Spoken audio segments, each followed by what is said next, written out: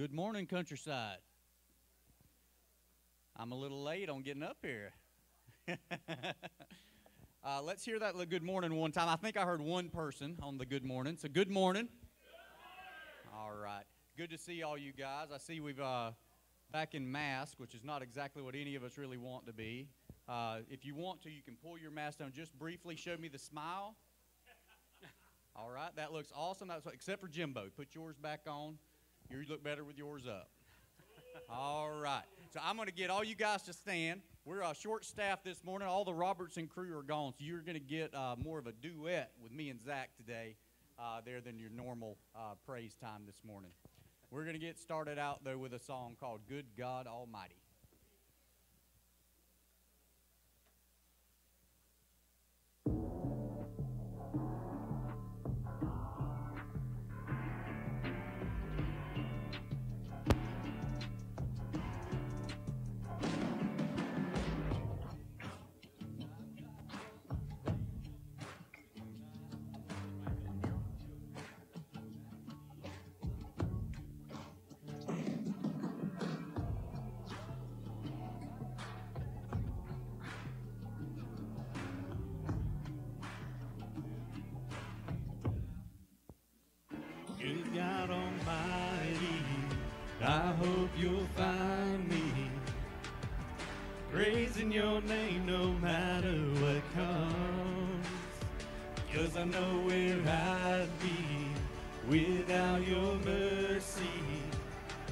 Keep praising your name at the top of my lungs.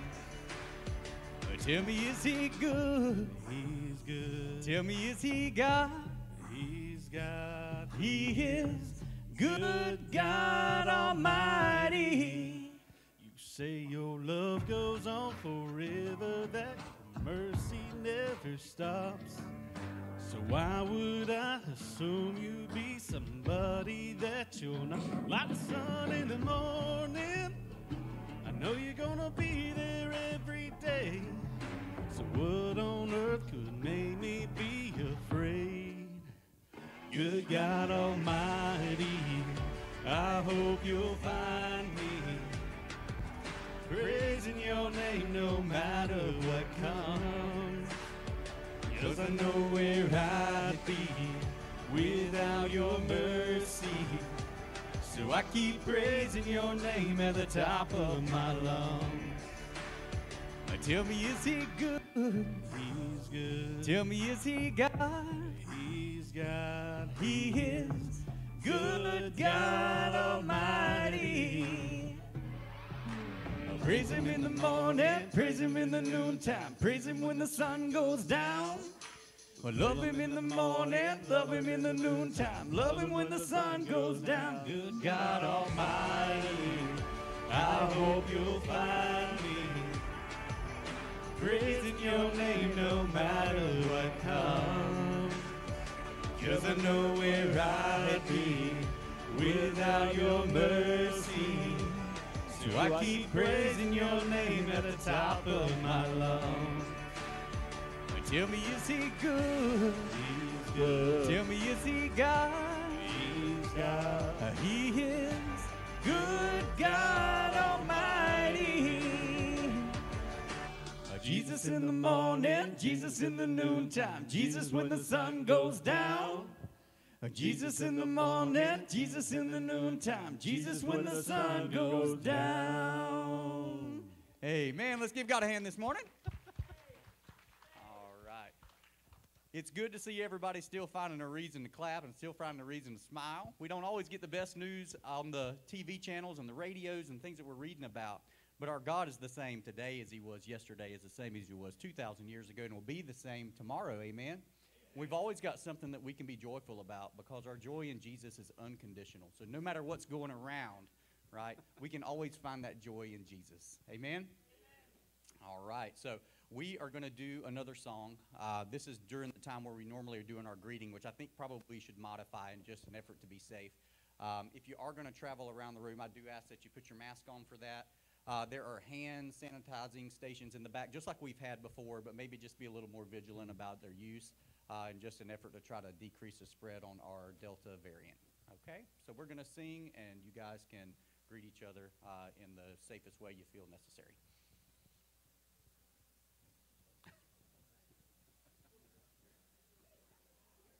There's revival and it's spreading like a wildfire in my heart. Sunday morning, hallelujah, and it's lasting all week long. Can you hear it? Can you feel it? It's the rhythm of a gospel song. Once you choose it, you can't lose it. Cause there ain't nothing, there ain't nothing gonna steal my joy. I got an old church choir singing in my soul. I've got a sweet salvation it's beautiful. I've got a heart overflowing cause I've been restored. There ain't nothing gonna steal my joy. No, there ain't nothing gonna steal my joy when the valleys that I wander turn to mountains that I can't climb. You are with me, you never. Cause there ain't nothing, there ain't nothing gonna steal my joy. I got an old church choir singing in my soul. I've got a sweet salvation and it's beautiful. I've got a heart oh,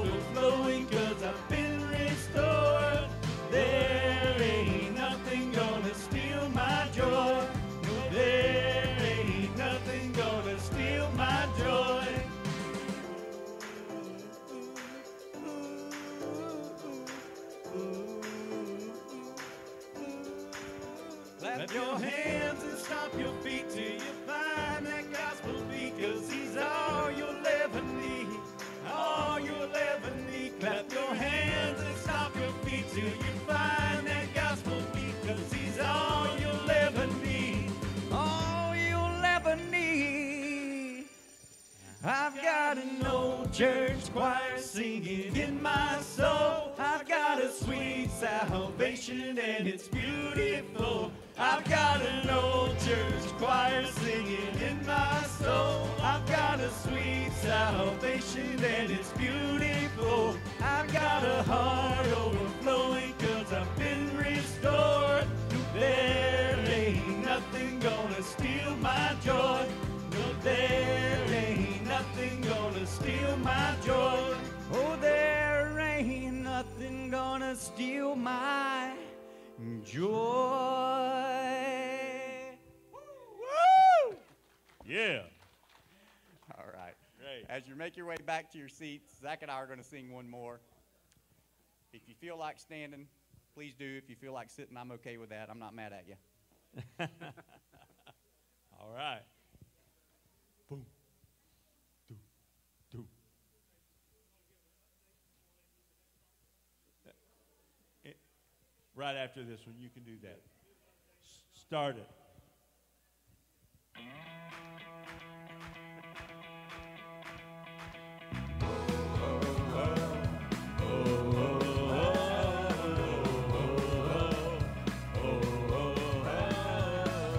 Everybody has trials and temptation. Ooh, ooh. Everybody knows heartbreak, isolation. Ooh, Help us on the ooze. Ooh, but we can lay our burdens down. Our burdens down.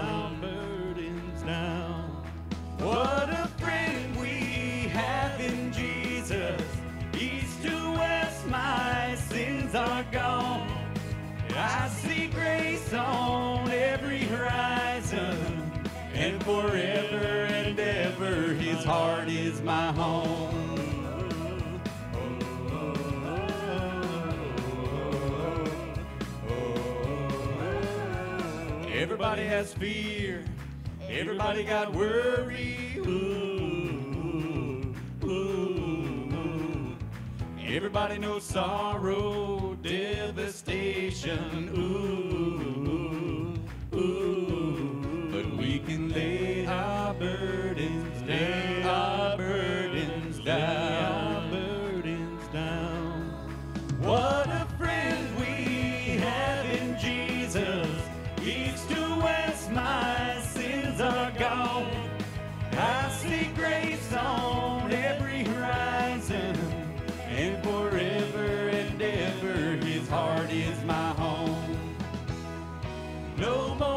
betrayal, for He is faithful. He fills me up when my cup runneth over. No more betrayal, for He is faithful. How He has proven it over and over. No more betrayal, for He is faithful. He fills me up when my cup runneth over. No more betrayal. For he is faithful, how he proven it over and over, over and over. What a friend we have in Jesus. East to west, my sins are gone. I see grace on every horizon,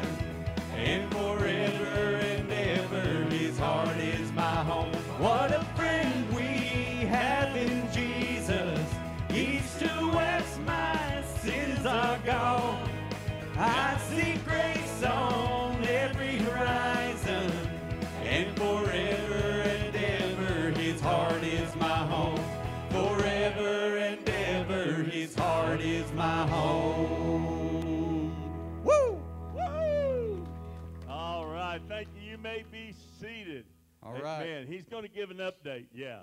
Yeah, hand him your microphone. We'll let him do that. How y'all doing?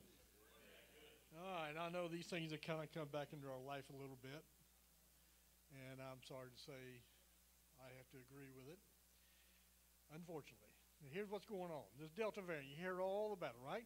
Everybody's heard about Delta variant, and you know that it's about three times more effective, can be transmitted three times more effectively than the other variants we've seen for COVID, especially the parent itself. There's a reason for that. It's a double mutant. In other words, it's got two mutations. Actually, it's got several, but two functional mutations. One is that it can partially evade the immune system. So if you're vaccinated, that doesn't really, you're still helpful by the, by the vaccine. Number two, which is probably the worst case, it generates a lot more virus in your body. In fact, in your nostrils, when they measure it, for people that have been infected, it's about a thousand times more. Now, say a thousand times more. My goodness, that means it's a thousand times more effective. No, it doesn't. It means it's about nine times or more effective than than just the regular COVID itself, or three times more than what we have now. So yeah, it's a thousand times more, but it's only three times more. So it's one in nine. That's the infective rate right now, one in nine. Now, that's the bad news. The good news, if you're vaccinated, your chances of getting seriously ill or sick from this are quite low. It's about 0.04%. That's about 1 in 2,500. Now, the other piece of data, which is much, much harder to find, is how many people who are vaccinated actually get the virus, but such a low grade they don't really get sick.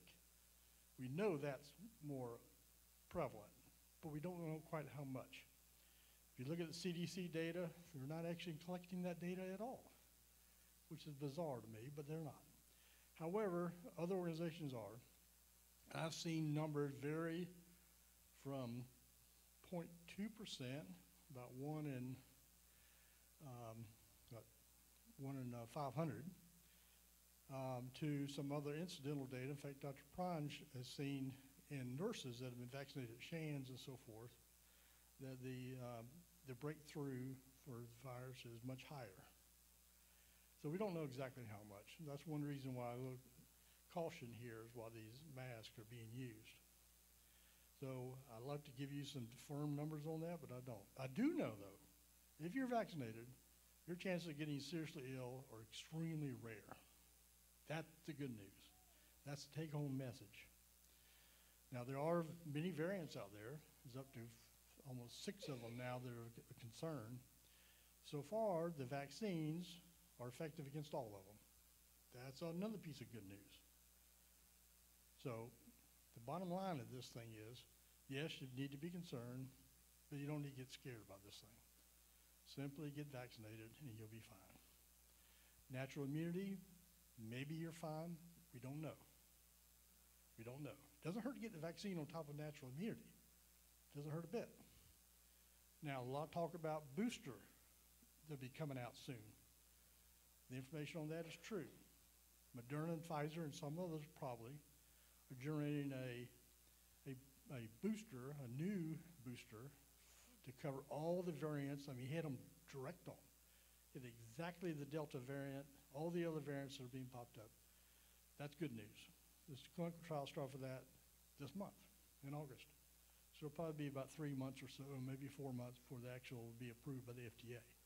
However, they already have additional boosters already. That means the regular vaccine you've been taking.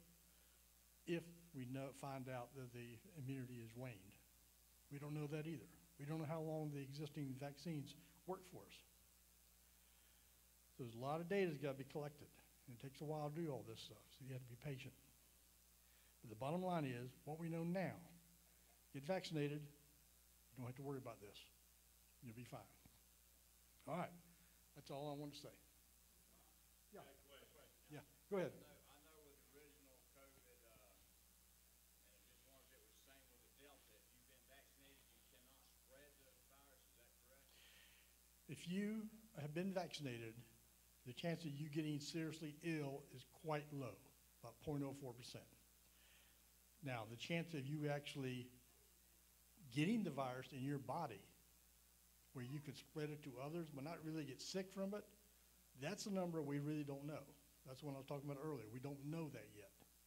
It varies between 1 and 500 to maybe 1 in 5. We just don't know. That data is, is being collected. We just don't know yet. But if you do get a low grade of infection, even if you're vaccinated, yes, you can spread the virus. You can spread it. We don't know how many people are, can do that. That's what we don't know. Is it one in 500? Is it one in five? We don't know. That's why a this. Yeah. Yeah.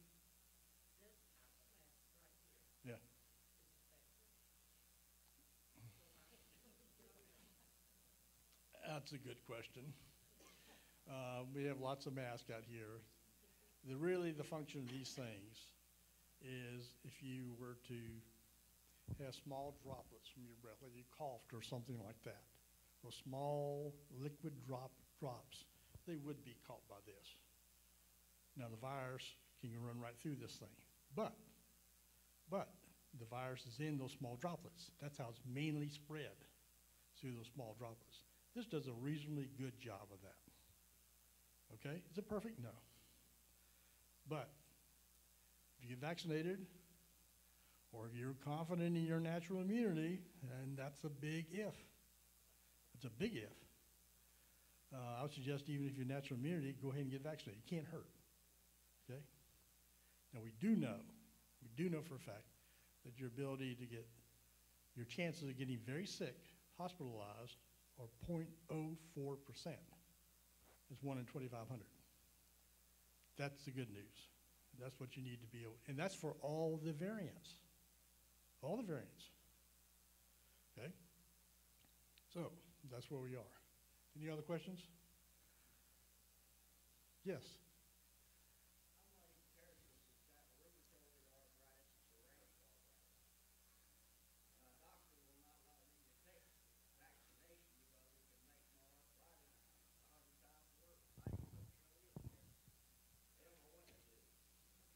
Well, I can't speak for your physician. Um, I just, I just can't address that.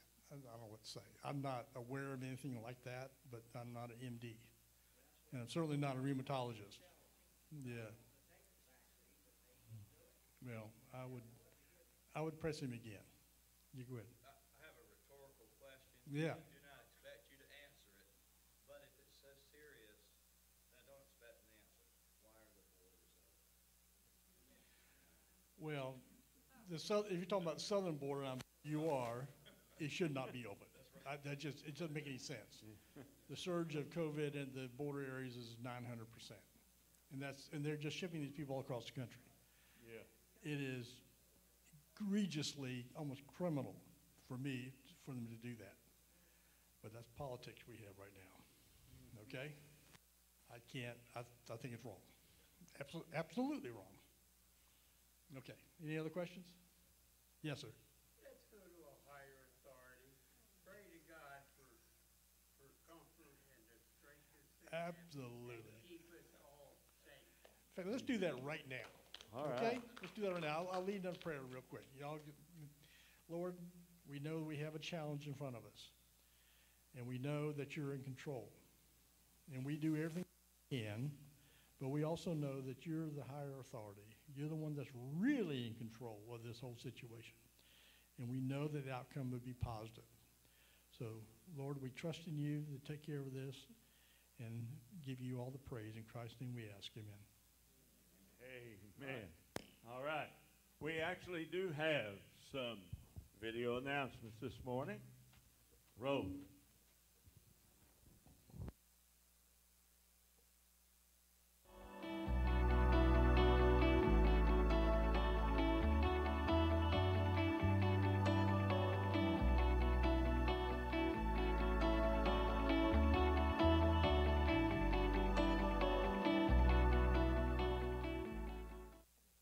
Good morning and welcome to Countryside. I'm Jesse. And I'm Jody, and we want to thank you for joining us for worship today.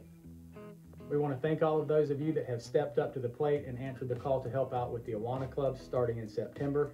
We are needing eight more individuals to um, volunteer to help us out, and Jesse's going to tell us where those are at. We have three teacher positions. One is um, the baby class, and then the oldest one being the seventh and eighth grade, and then there's one in the middle. So kids of all ages need help. And then we have five listeners or helpers in different clubs. So there's plenty of places to plug in. Club starts the first Wednesday in September, and we will need time ahead of time to get everybody trained. So please make sure that you sign up soon so we can get everybody on the list and get started with your training.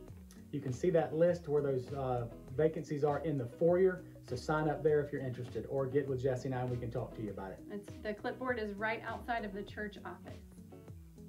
We're going to go on to Sunday school now, and we are two people away from being fully staffed in Sunday school. So thank you for everybody who has stepped up. We are looking for a teacher and a helper in the nursery and the preschool class during the Sunday school hour. If you are interested in helping out in that area, please see Miss Melissa Allen. She is our new Sunday school administrator. Communication is important to us at Countryside, and we have a special tool to help us do this. that tool is the communication card. You can find them located on either side of the lobby on the tables. First time guests, pick one of those up and let us know how we can better serve you. And if you're a member and you have a special need, make sure to use that tool as well. There's a place on the back that you can even mark confidential if it's something that you want kept in confidence. We're a week away from the new school year starting, and I want to ask you to pray for our schools, Riverside over in Trenton and Countryside here. Um, we can always use the prayers. Um, we've got a lot of new kids on our campus, record enrollments at both schools, so please be in prayer for us as we start the next school year uh, week from Monday. We want to thank you for joining us at Countryside today. We hope you have a great week.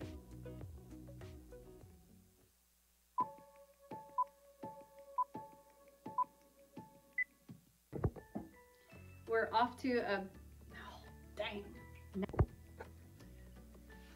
We wanted to ask you. you had a blooper. He had a blooper.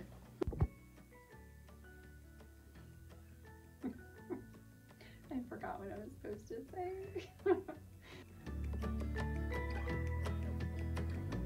All right. All right. I have a team of people coming up to help us sing some more. So you stand and we will join them as they lead us, okay? This this is an old one right here, okay? Here we go.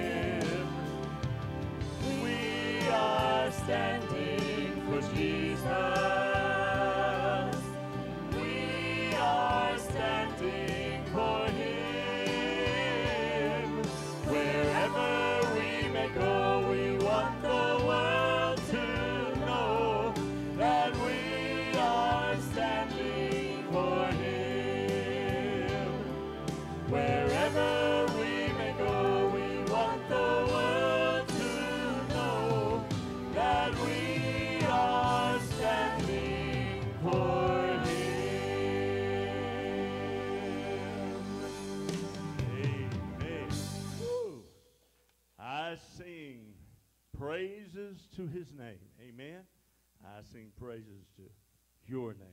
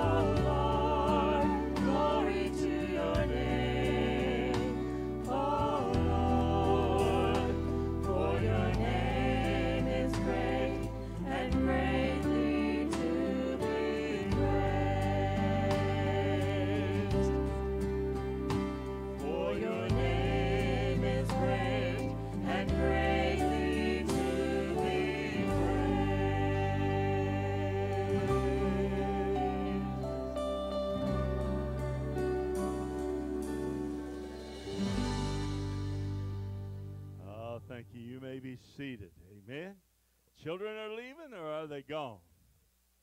Oh, they're not doing okay. They're not going anywhere.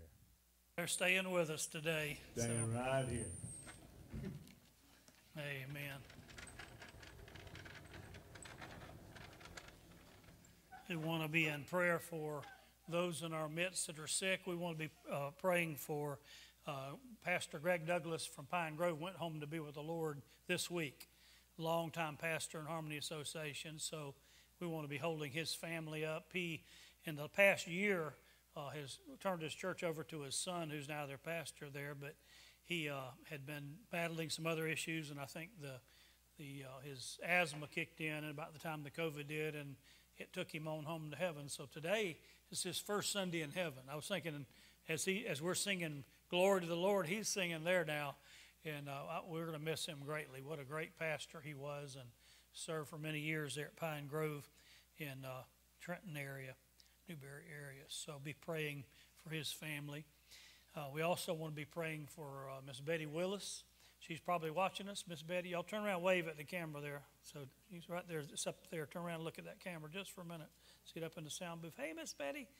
And uh, Miss Mills, you may be watching too. And uh, Miss Hebert, if you're watching, whoever's out there, uh, we like to say hey to them. Uh, Miss Gussie, I think she might be watching us out there. Can't tell where, who's out there today, but uh, be praying for those that are that are homebound that can't be with us. Miss Bonnie's sick today, so pray for her. She was sniffling and coughing, and and I'd made the call and told you if you were sniffling and coughing, don't come. So she had to abide by that today. So pray for pray for her. But I want to speak for the next few minutes. We're we're in part four of uh, Be Thou Prepared, and today's a little different aiming because it's not really prepping for uh, you know something that might come uh, that you normally think about, but it's more about the persecution that could, could come our way pretty quickly uh, because of our Christianity and because of our stand for Christ, and being prepared for that, understanding that it is a very real possibility uh, with the rise of, of you know the, the Arab Spring and the rise of ISIS and the destruction of Christians all across the Mid East, and then plus you remember the election we had uh, when people had TDS. You remember what that was? What was that? TDS was what? People went totally nuts, totally crazy against people that supported Trump. I have never, I mean, we've always had, you know, the Democrats and Republicans at each other's throat, but never before have, have you seen situations where they were calling for the death of, of a support, somebody that supported a certain president candidate. I thought, now this is different. This is weird. And, and uh, it could easily turn into hatred for Christianity. It really could, because a lot of, of uh, secularists out there now are blaming everything that's going on, everything that's wrong on you you Christians, you Christians who caused it. And I don't, of course, I don't believe that, but uh, it happened to the Jews in Germany, and it's happening, you know, to us now in America. And it's just a matter of time before, uh, you know, someone gets in power and enough of their people get in power where they start persecuting people like you and I for what we believe. And God forbid that that happen. But I want to read a, just a part of a couple pages from uh, the book that I've based this whole series on, Be Thou Prepared, and, and uh, the, the title of the chapters of Gods and Emperors, because all through history we have emperors and leaders and sometimes presidents that think they're God.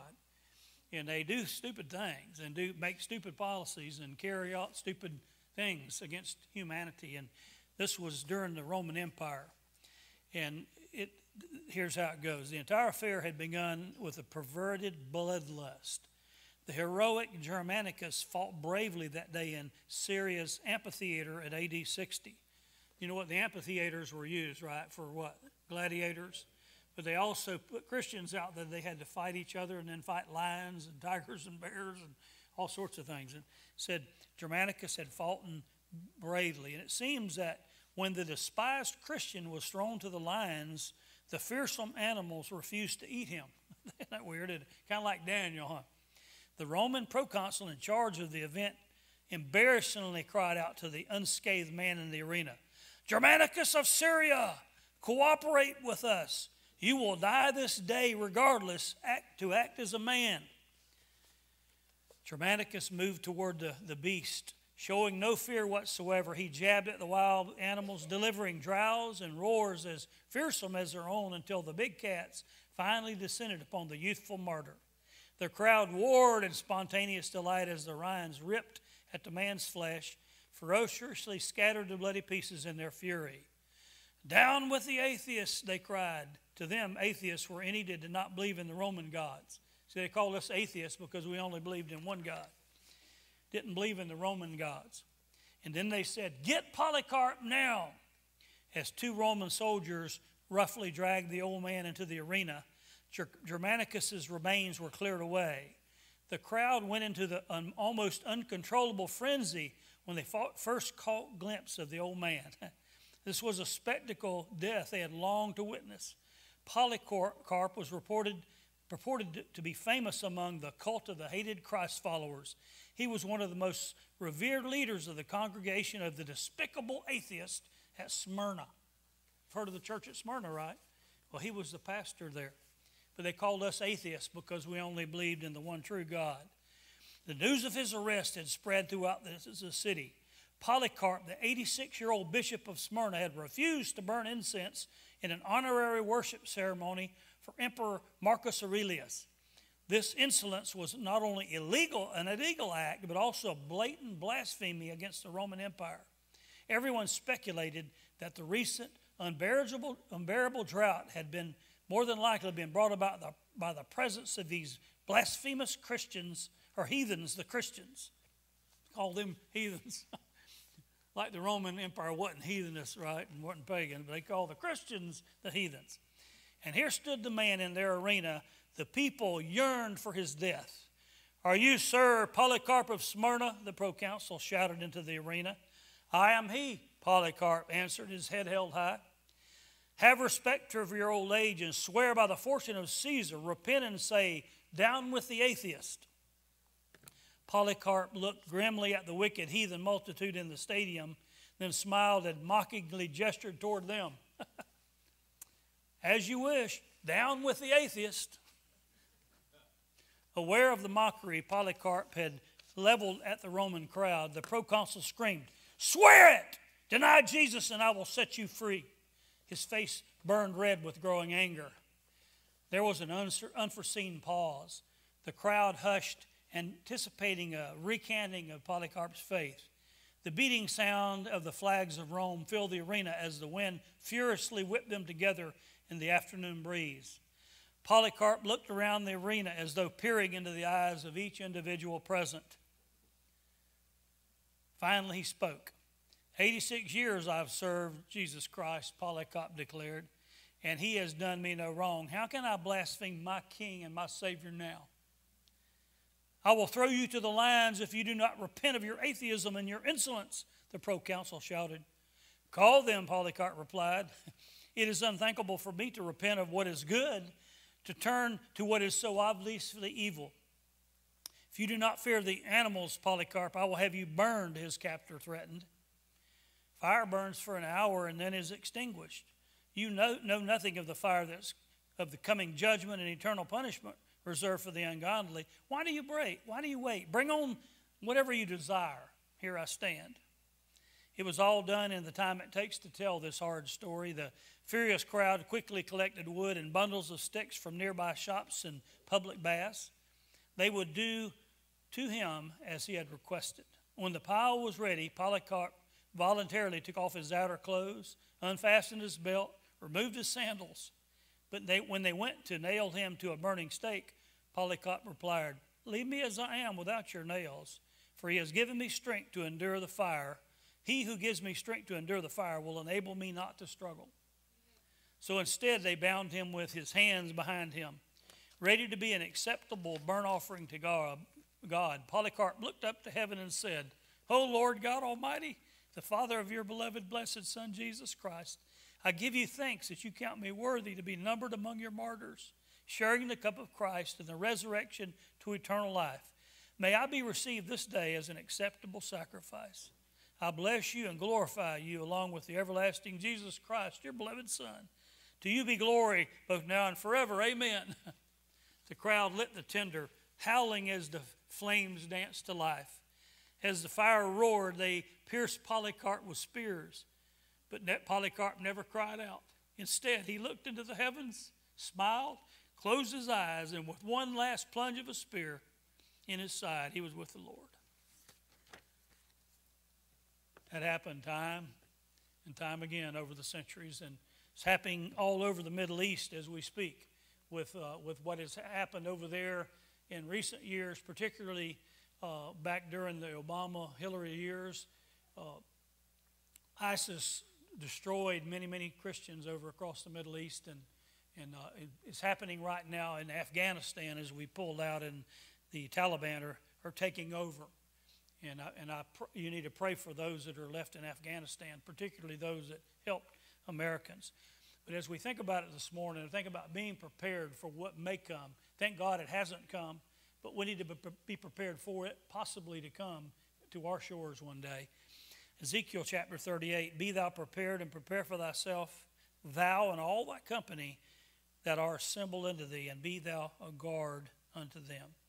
And you remember the scripture from last week a prudent man, person, foresees danger and takes precautions. The simpleton blind, goes blindly on and suffers the consequences. Let's begin with prayer. As we think about being prepared for what may come in the sense of punishments for being a Christian one day. Lord, I thank you for the word, Lord. I pray that we will be prepared, Lord. And we, like Polycarp, Lord, if our time ever comes, we'll stand boldly and proclaim your faith in the face of whatever might come our way. Lord, we pray it doesn't, but Lord, it has come to other places so many times, and it could possibly come here, Lord, as evil is trying its best to take over our land. But Lord, I pray that you'll stave it off with your Christians that are here, that will stand up and, and maybe turn this country back to you, Lord, so we can forestall and foresee, force, uh, keep this from happening here on our shores. In Jesus' name I pray. Amen. As you think about that, uh, there's always been emperors that thought they were gods, all down through history. You know, one, one person has said, power corrupts, and absolute power corrupts absolutely. you know, and it's true. When people gain too much power and too much control, they do bad stuff and they, they hurt other humans in a lot of ways. You might remember the king of Egypt during Moses' time, and when he, what happened? You know, he killed the babies, you know, and, and Exodus, he, he told the, he spoke to the Hebrew midwives, of which the name of one was Shiphrah, the other was named Puah. And he said to them, When you do the office of a midwife to the Hebrew women and see them upon the stools, if it be a son, then you shall kill him. But if it be a daughter, then shall, she shall live. And you remember, how did Moses come into being? The midwives spared him, didn't they? And God raised him up to deliver over two million Jews from that horrible king that thought he was a god there in Egypt. Uh, king Nebuchadnezzar during Daniel's time, you remember when uh, the three Hebrew children were told to bow down to the, you know, the, the big image, and, and they told the king, they said, if it be so, our God, whom we serve, is able to deliver us from burning, burning fiery furnace, he will deliver us out of thy hand, O king. Remember, he said, Now I'm going to give you all another chance, boys. I know you probably didn't understand the command, but we're telling you, you're going to bow down to this image. When you hear the sound of the flutes and the trumpets, you bow down like the rest of them. They said, We're not going to bow, sir. Said, You know, God can deliver us from your hand, but he says, But if not, but if not, be it known unto thee, O king, we will not serve thy gods or worship the gold image which thou hast set up. See, you had a, a king there that thought he was God, an emperor there that thought he was God. What about the king during Jesus, King Herod? You know, Herod the Great. No, he wasn't Herod the Great. He was Herod the Pitiful. You know, and he, but he during that time you had numerous Herods, but they all thought they were gods. And this particular one, uh, remember the wise men came and said, "Where's the king being born at?" We saw the star and we came in to worship him. And, and the king goes, What? You know, so they started looking, trying to figure out what they were talking about. Matthew chapter 2, verse 16. Then Herod, when he saw he was mocked of the wise men, how was he mocked? Well, they figured him out. They went and worshiped Jesus and they went, went back to their country in another way. And he got ticked because he thought he was God said, When he saw he was mocked of the wise men, he was exceedingly wroth, exceedingly angry, sent forth, slew all the children that were in Bethlehem and in all the coasts thereof from two years old and under, according to the time which he had diligently inquired of the wise men. So they, they, he, they gave him a specific date, you know, within the last two years he's been born, you know, so we're here to worship him. So he, because he thought he was God, killed all those boy babies, thinking he'd snuffed out that next king. Of course, he didn't because God has a bigger plan. But only to make the point that all through history, you have had people that thought they were gods that got into power. The, the severe persecution by the Romans during the first 300 years of the church, it's unreal. Just Google it. Uh, secular, secular historians record this. You can go to Wikipedia right now and, and type in Roman persecution of Christians, and it'll blow your mind how much information's there. I only downloaded a little bit for you. And here's what came from Wikipedia on this very subject. The persecution of Christians occurred throughout most of the Roman Empire's history, beginning in the first century AD. the very first churches, the first century, started being persecuted by the Roman government. Originally a polytheistic empire in the traditions of Roman paganism and the Hellenistic religion, the religions of Greece, as Christianity spread throughout the empire, it came into ideological conflict with the imperial cult of ancient Rome. Pagan practices such as making sacrifices to the deified emperors or other gods were abhorrent to Christians, as their belief prohibited idolatry. They would not worship the, the Roman emperor. You know, they would not worship Caesar because it's forbidden to do so by the word. I mean, you know that's true. Not to worship any human like you would God, and they would not do it. Uh, Christians, uh, let, me see, let me see back down here. The state and other members of civic society punished Christians for treason, various rumor, rumored crimes. Remember when Nero blamed the Christians for burning Rome and they killed thousands of Christians? He, he burnt Rome, blamed it on the Christians. But they blamed Christians for all sorts of crime uh, treason, various rumored crimes, illegal assembly, and for introducing an alien cult that led to Roman apostasy. Uh, their apostasy would stop worshiping, they would call, if you stop worshiping all their gods, they call that apostasy. When we, the Christians that got saved there, realized there's only one God. You know, and his, name, and his name is Jehovah, and his son is the Lord Jesus Christ. They worshiped him, and they accused them of being apostates and, and killed them. The first localized Neronian persecution occurred under the Emperor Nero. You've heard of Nero, remember? Uh, 54 through 68 in Rome. A more general persecution occurred during the reign of Marcus Aurelius. Now, during Nero's reign and this other, other Caesar, they would kill Christians, wrap them, wrap their bodies on a pole, wrap them in lion skins or, or animal skins, dip them in tar, put them up, and light them on fire a wonderful way to die, right? They were horrible people. They, they persecuted Christians uh, just on and on and on. Uh, the Augustus Diocletian uh, emperor, 283 through 305, he began the Diocletian uh, persecution the final general persecution of Christians. And after that, you had a couple more guys. And then finally, Constantine became emperor and he legalized Christianity, stopped the persecution. And then Christianity became the church of the state. And then, it, which is not a good thing, I don't think it was a good thing. I think it was great that the persecution eased off, but it was not a good thing that the church married the state and they became uh, basically one. Because that brought in the real dark ages when, when people were murdered because they did not swear allegiance to the Pope and the Catholic Church. And they were all across the world. You, you've read about what happened. Because this really, uh, when that happened, when the church married the state, this, this started the church state based persecution all across our world. Uh, the persecution by the Roman Catholic Church was horrendous during this time. There were people called Anabaptists that believed that you believed in Christ, then you were baptized. How many of y'all believe a little like that? We're a little like Anabaptists. They mean they called them the rebaptizers, meaning they did not accept the baptism of children, babies. And they, the rebaptizer, it says Anabaptists are Christians who believe in delaying baptism until the candidate confesses his or her faith in Christ, as opposed to being baptized in an infant. Anabaptists were heavily persecuted during the 16th and the 17th century by both, now this is crazy, Protestants and Roman Catholics, including being drowned and burned at the stake. You say, what? Yeah, yeah, they drowned them. You want to be baptized? We'll baptize you. You know, hold them down until they couldn't breathe anymore.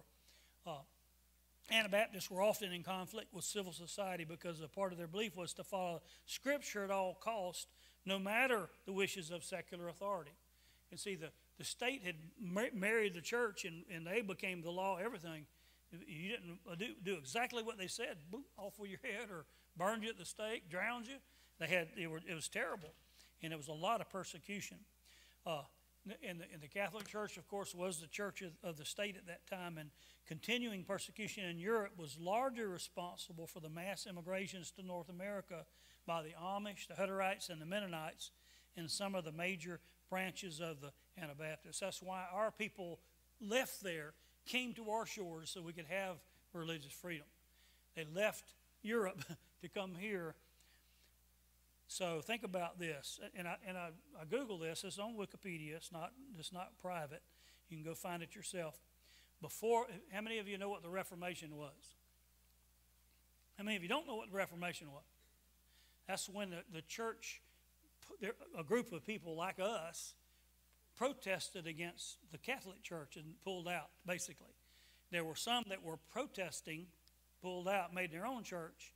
Then there were others like the Anabaptists that never were in the Catholic Church that were persecuted all along. We actually come out of that movement. We don't come out of the people called Baptist Protestants. No, we're not Protestants. We were never Catholic Church, you know, and we were always persecuted because of the belief in you know, believers' baptism, basically. So you know, you have to kind of separate. The Reformation happened, and uh, you remember when the, when uh, Martin Luther nailed the, the 95 Theses on the door at Wittenberg, it was 15, whenever, 15, 13, 14. Uh, he, he was protest against the Catholic Church. And it started the Great Reformation, which really changed the world, and it brought the church out of the Dark Ages. Dark Ages being that time when, when it just hundreds of thousands were murdered by the church. But, in, but, but look at this. This is Roman Catholic Europe. All these people are people, known public figures that were murdered during that time for their faith. I'm not going. You'll have to go get your own list. I'm not going to print it for you, and you don't have time to write it down. Just I'm going to throw it up there for, for you to understand how many people. These are famous people that were different movements that were murdered by the, the, the Catholic Church in, in Europe. Uh, on and on we could. I mean, Mark couldn't even get it on there, page after page of people. Then there were Roman Catholic countries over there. Their whole country was ruled by the Roman Catholic Church, a marriage of church and state again. Here are the people that were killed there. Many, at, you know, burned at the stake or or beheaded, uh, hung. Uh, too many people even count. It's just ridiculous how many people, Christians like you, that were killed because of their faith uh, martyred for their faith. I, di- I didn't. I just said I'm gonna just throw them up there and let you see them because it's it's it's too many too many to even count. Uh, on this page, you might have heard of William Tyndale. Remember, one of the great ones that translated the Bible in you know into uh, average American, not American English, but their language of the time. Tyndale House is still a publishing group that uh, translates the Bible today and puts it in the language of the people. Uh, Too much to count. These are all Roman Catholic countries where the church married the state, and they would kill people that did not believe and join their particular church. But they also did it in Protestant countries. Protestants, uh, the Calvinists, and others were, were just as bad as the Catholics when it came to killing people eh, because they would not convert. Uh, you can go, you know, to Wikipedia and uh, I type in list of people burned as heretics. That's what you want to look at. If you want to go look at these lists, you can read more about it. But they were they called them heretics because they did not join the Catholic Church, and the and the Church of England really was an offshoot of the Catholic Church. Guess what? Why did they come to America? They wanted what? Freedom of what? Guess what? It didn't happen at first. Because in America, people were persecuted because they wouldn't belong to the state church. And the state church then, of course, America was ruled by which country? England. The Church of England was the state church. And if you did not do exactly what they said, you were persecuted and hounded. And, and uh, boy, thank God for this one man by the name of Roger Williams. I don't know if you've ever heard his name. You need to go research Roger Williams. Roger Williams uh, was a dissenter, and he did not believe the Church of England, like they said, and, and, and I, I downloaded this for you because you need to know this. Religious dissenter Roger Williams was banished from the Massachusetts Bay Colony. Now, listen to this who banished him? by the General Court of Massachusetts. What? The court banished him because there was a ma- marriage of church and state. There should never be a marriage of church and state. America, we are a Christian nation and, and how we're founded, but we don't need one denomination controlling America. And that's basically what happened in Europe, basically what happened in all over the, the Mid East over there at that particular time. And then they brought it to America at the very beginning and they established a, a state church.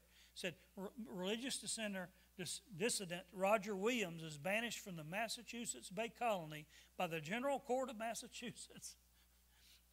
Williams had spoken out against the right of civil authorities to punish religious dissension and to confiscate Native American land.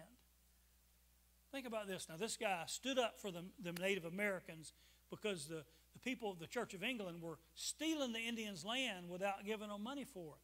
They thought they could just come take it, and it was theirs because they were, you know, they were from England, and England was a powerful nation, and they were of the Church of England. They had the right, right from God to take. No, Roger Williams said, no, you don't, you know, people need to be able to have a different view than you do. They need to have freedom of religion. They need, and you need to pay the Native Americans for their land.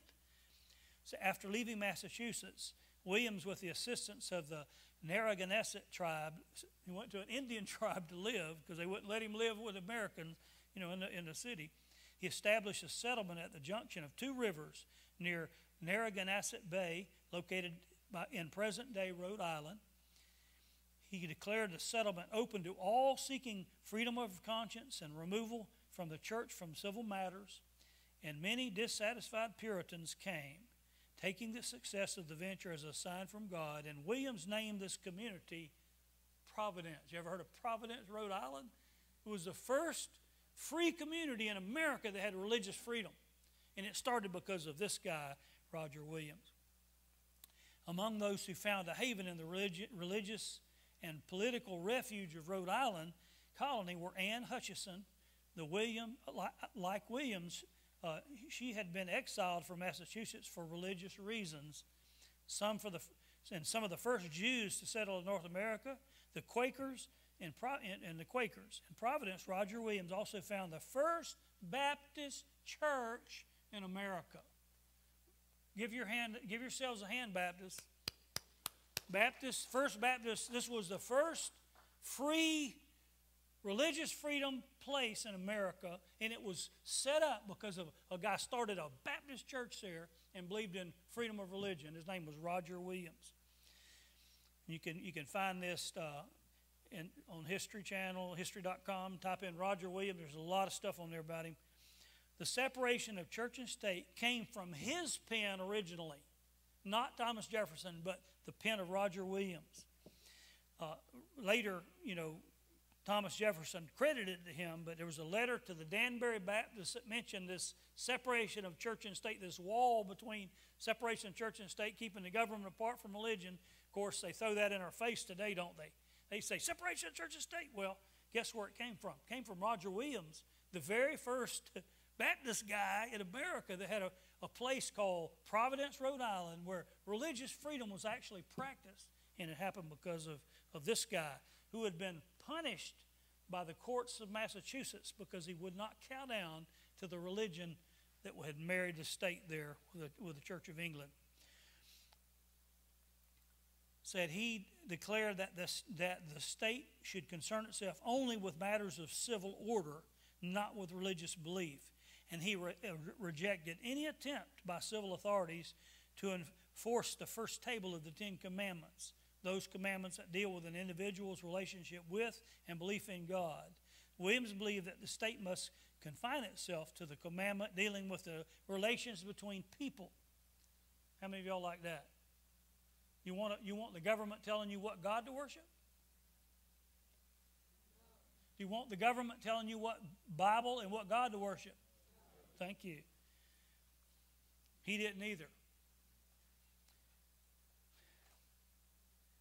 Williams wrote of a hedge, a hedge or wall of separation between the garden of the church and the wilderness of the world. Thomas Jefferson later used the metaphor in his 1801 letter to the Danbury Baptist, who had written him with their concerns about the government forcing their particular state church on anybody. William considered the state sponsor of religious beliefs or practiced forced worship, which he didn't agree with. See, we should not force anybody to be saved. Everybody should have a free choice, right? You ever heard of the Salem witch trials? They were conducted by that same court that had ran him out to the Indians in, in the wintertime and pushed him out of his home. Same court. Uh, he also believed Constantine the Great to be a worse enemy to Christianity than Nero because the sub- subsequent state involvement in religious matters corrupted Christianity, Christianity led to the death of the Christian church. He described the attempt of the state to pass laws concerning an individual's religious beliefs as rape of the soul and spoke of the oceans of blood shed as a result of trying to command conformity. The moral principles in the scriptures ought to inform the civil magistrates, he believed, but he observed that well ordered, just, and civil government existed even where Christianity was not present. Thus, all governments had to maintain civil and order and justice. But Williams had decided that none had a warrant to promote or express any religious views. Most of his contemporaries criticized his ideas as a prescription for chaos and anarchy, and the vast majority believed that each nation must have its national church and could require that dissenters conform. And Roger Williams, the first Baptist church in America, the first man in America that stood for religious freedom. We have to have religious freedom if we're going to have freedom at all. And, and a person needs to be able to believe in the God of the Bible or a cookie if they want to. It doesn't matter. What we need to have is freedom freedom of speech and freedom of religion. And, and here you can be happy and thankful that you're connected to a man by the name of Roger Williams, being a Baptist, the first Baptist church in America. And somebody says, What would you be if you weren't a Baptist? I'd be ashamed. That's what I say about them. I'd be ashamed. But see, we jump forward about, you know, a couple hundred years. And then we have King Barry and Queen Hillary in our time. Really? Remember how many time, how many people called him King King Barry, right? He and he he tried to act. He tried to dictate from his office as if he was a king. And and during his time, you had the Arab Spring and the rise of ISIS. How many remember that? Well, what you might not know and you might not have read enough to understand is ISIS was bought and paid for by our government under the pretense of overthrowing Syria. You remember when our, our guy got killed there in, in Libya? What was his name, our, our ambassador? You know why he got killed? He was uh, uncovering this. They were funneling arms to the ISIS. But see, our, our national policies are so stupid. We have some idiotic people in power. And we have some idiotic people in that military industrial complex that should not have unfettered power because they get us into all sorts of stuff that we shouldn't be in. And of course, they gambled that they would arm these rebels and they would overthrow Assad in Syria. And what happened is they turned on the rest of the Middle East. Stupid, well, true. Evil and stupid. But they, but they, they act like they're smart. And they're not. They're just evil. And they're, they're really pawns of the, of the enemy. Because think of how many hundreds of thousands of Christians that were murdered in Syria and Iraq and Iran during that time by these evil beings that, that uh, King Barry and Queen Hillary funded. Well, uh, ISIS butchered thousands upon thousands of Christians during that time and still operating. And, and now the Taliban's operating in Afghanistan unfettered again. So I don't know what's going to happen there. I know this our southern border has, has been open for a while. And we know that about a million people have come in in the last year. And we know a lot of those have been fighters from other countries. We know that a whole lot of them have been China, Chinese. So who knows what we have in our, on, our, on our shores already from, as far as foreign uh, intelligence officers and fighters? We don't know. So we really don't know what's coming in America. I just know this. Uh, persecution has always followed the church. All the way down through history, from, from day one, persecution has always followed the church. It started at the beginning of the church age, right after Pentecost. The Jews hated it, they wanted to stop the spread of the gospel, and they immediately started persecution. Go to Acts 5 just for a minute. Take your Bibles. Acts 5. read a few verses, and, and here's where some of the first persecution. Verse 17 in chapter 5, it says, But the high priest rose up along with all his associates, that is, the sect of the Sadducees, and they were filled with jealousy. What were they jealous about? If you read the context, the Christian church had exploded in growth. they were filling Jerusalem with their doctrine. It's estimated there was 100,000 or more Christians in Jerusalem alone.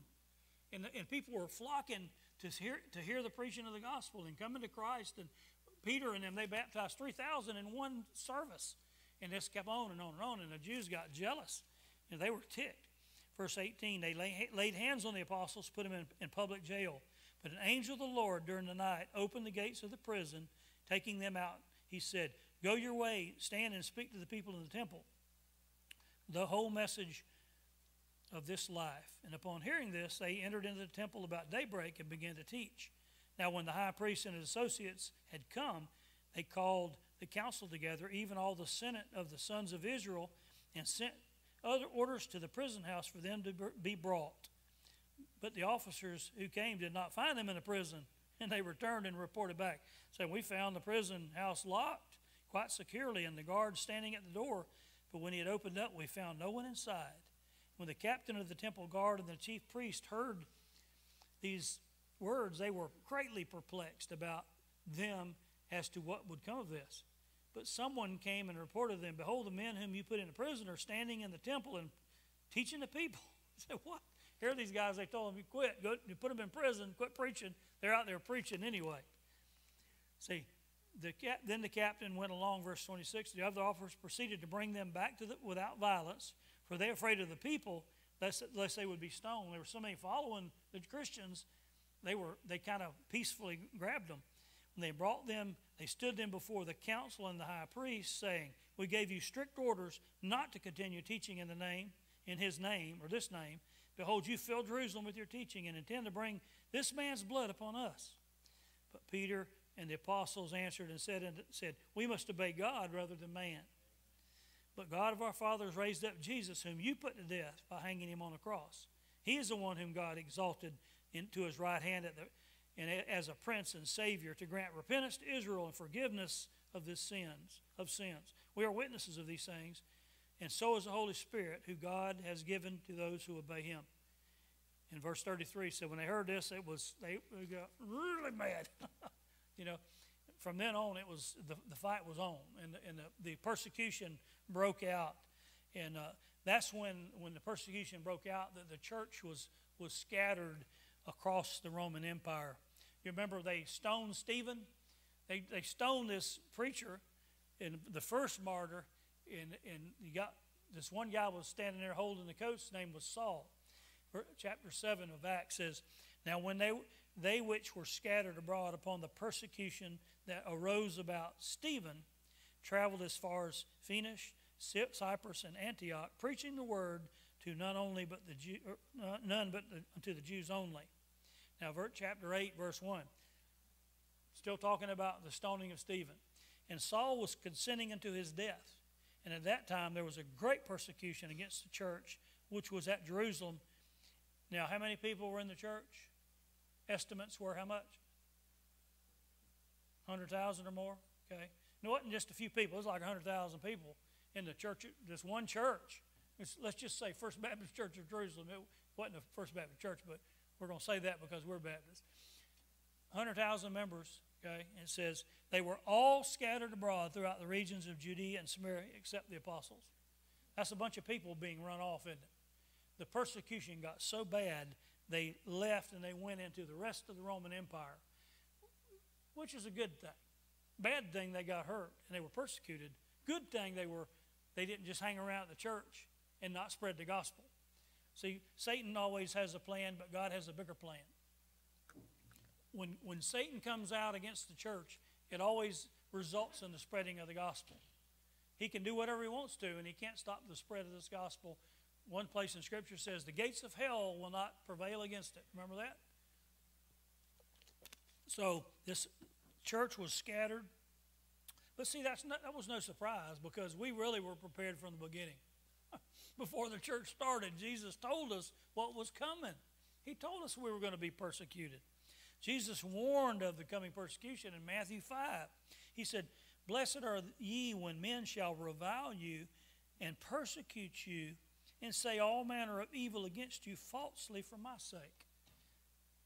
They're blaming Christians now for all the stuff that's going on. The church caused it. The Bible, the Bible caused it, and you Christians caused it. See, they're lying. It's, all a lie. And yet, when you repeat a lie often enough, and, and soon, you know, continually repeat it over and over again, people believe it. And that's what's happening today. And it happened then, it's happening today. Jesus said they're going to persecute you. They're going to revile you. They're going to say all kinds of stuff that's negative and wrong about you. He said, but you're blessed if that when that happens. He said in verse 12, Rejoice and be exceedingly glad, for great is your reward in heaven. For so persecuted they the prophets which were before you. Did you know every one of the prophets, almost without exception, when they came to Israel, they were persecuted? yeah, some of them put to death. You remember when Jeremiah was thrown in the pit, in the, thrown in a well, a dry well. And, you know, if it hadn't been for that one black dude that came and pulled him out, he'd have probably died right there.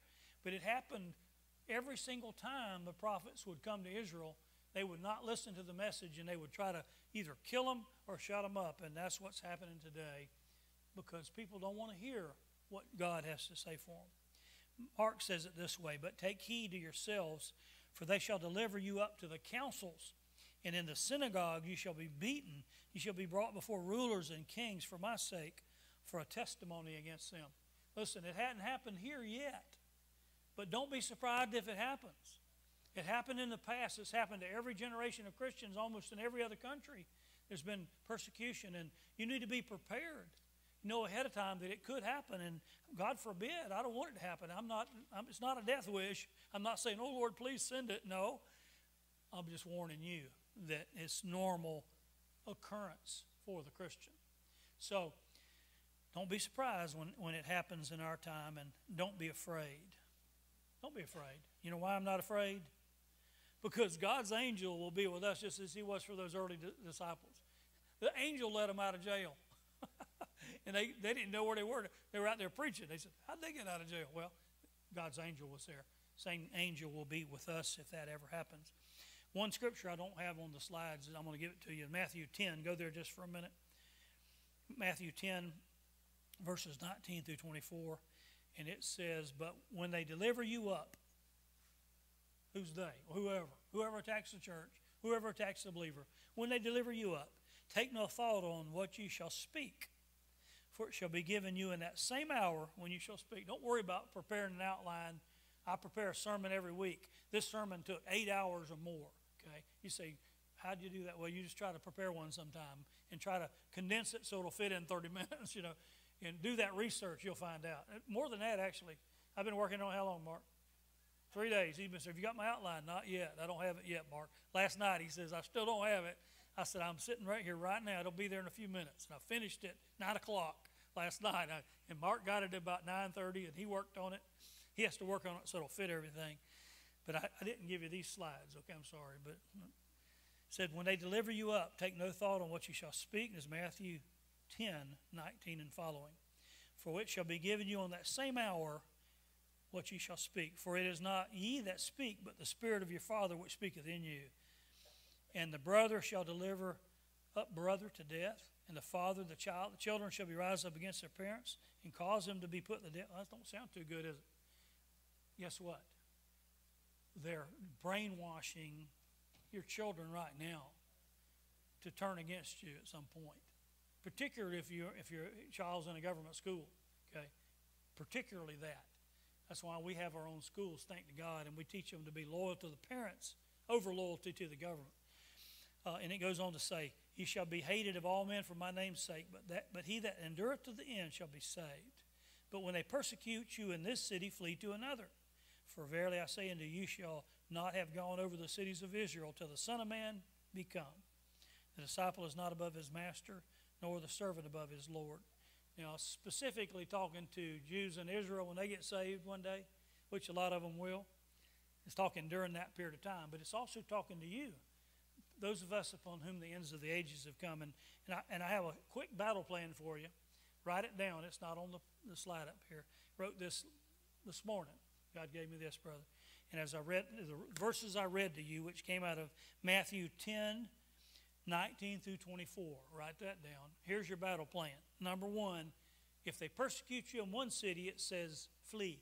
What does flee mean? Go. So, first, first option, run away from it if you can, okay? Second option, if you can't run, hide, okay? There's a, there's a place in Scripture they tried to take Jesus and it said he hid himself from them. I couldn't find, where'd he go? he hid. You know, he was smart. One place he left, one place he hid. Third thing, if you can't run or hide, sometimes you have to fight. If it comes down to protecting your family, protecting your children, you have to fight. Now, one of the disciples decided to fight instead of flee, instead of hide. What did he do? He took his sword and did what? The reason he hit his ear is he missed his head. The guy went like that. He was swinging for his neck, you know. So thank God he didn't kill him, but Jesus put the guy's ear back on, you know. So sometimes there's a time where you have to fight. I don't want to. I don't really go look for a fight, but but sometimes you if you can't flee and you can't hide, you have to fight and you have to protect your family. And if all that is done and you can't do anymore and you, and you have no way to fight, you have nowhere to flee, you have nowhere to hide, then you stand and you just suffer the consequences of it, standing in court, whatever. When that time comes, what did Jesus say? He, he said, prepare a sermon, right? Get it ready. What did he say? When it happens, what, I'm gonna, what, what is God going to do for you?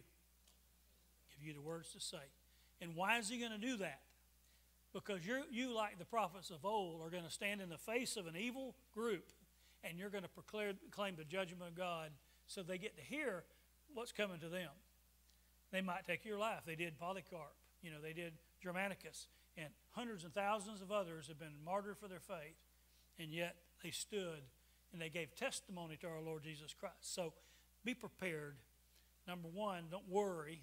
Don't, don't go out of here and say, oh no, we're going to get killed tomorrow. You know, we're going to be martyrs. Probably not.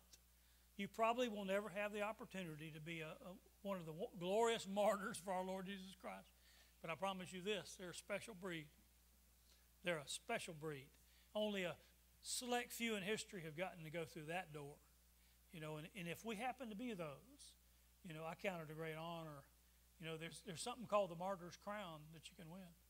You know that? There are about five crowns that you can win and have when you go on the other side. One of them is the martyr's crown. You know, we may or may not get that. But know this for sure. We need to be prepared just in case. Amen? And keep your keep your face in the book, your knees on the floor. Pray to the Lord every single day. Have a, have a clean heart, clean mind. Serve God with all your heart, with all your soul, with all your mind. Trust Him, take care of us. We're going to be okay. You know why I know we're going to be okay? I read the last few pages.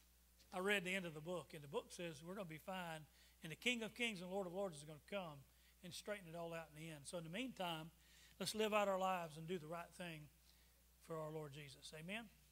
Brother Mark, what are we singing? Just as I am. If you're here today and you want to make a decision to follow this Lord Jesus Christ, I know some of you probably think, man, I'm not going to follow that Jesus. They may kill me for that. Well, you have to decide that. Are you willing to stand for Him? He was willing to stand for you. He was willing to go to the cross for you. Are you willing to do the same for Him? Uh, you come as we sing. Maybe you're a Christian and and you're having some issues right now and you just need to come to the altar and pray, you come as we sing. Listen. You may stand.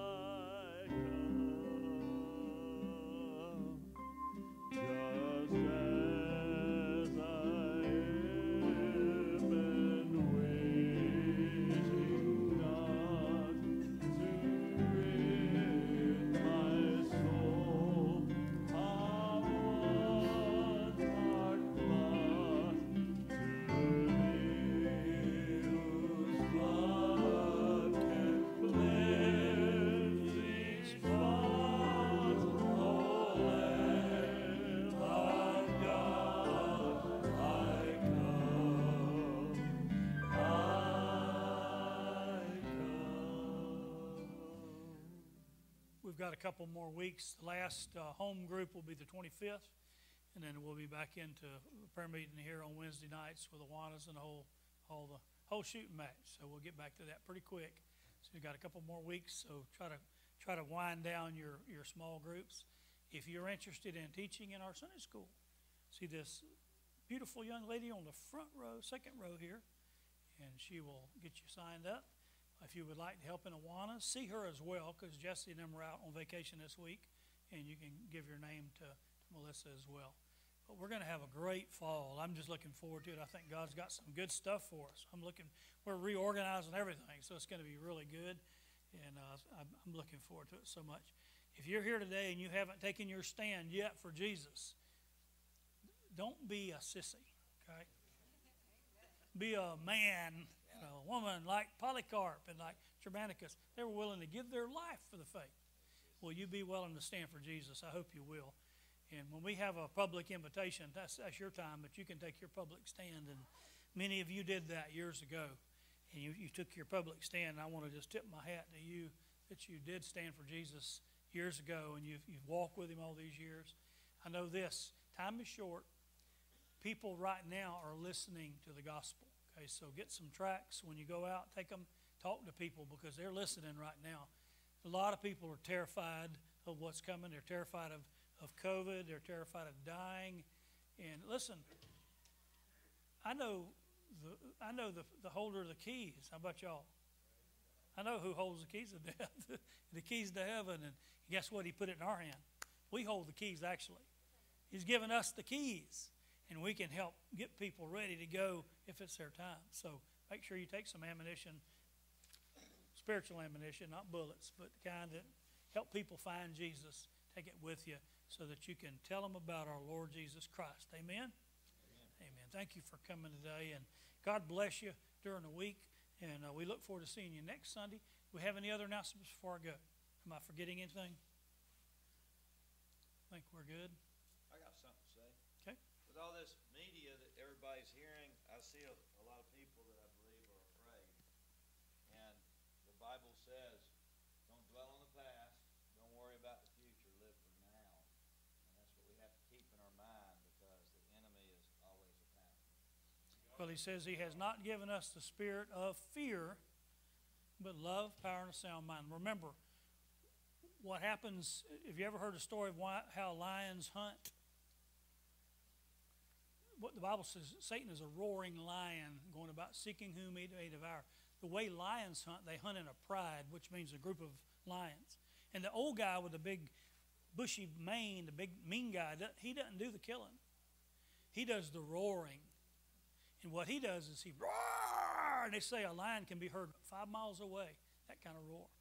And so the enemy, the devil, does the roaring. He's doing a lot of roaring on the media right now and making people afraid. And people are running like sheep, you know. But, but in, the, in a pride of lions, the animals start running away from the roar, and the, the female lions and the young lions are big circle out there in the brush waiting on those animals that are running away from the roar. They run right into the, the killer part of the lion pride, and they get gobbled up. And the big guy, he gets his part later after they get through eating. But there was an old song a long time ago that was said, "Run to the roar." Okay, don't run away from it. Run to it. Don't be afraid. God's going to take care of us. We're going to be fine. You know, if if we died tomorrow, if you know Jesus and you die tomorrow, guess where you're going to end up? When you open your eyes, you're going to be in heaven. you know, I don't want to die. I don't have a death wish, but I know where I'm going. So I'm not living in fear. I'm living in faith. So faith over fear every single time. Amen. Let's pray.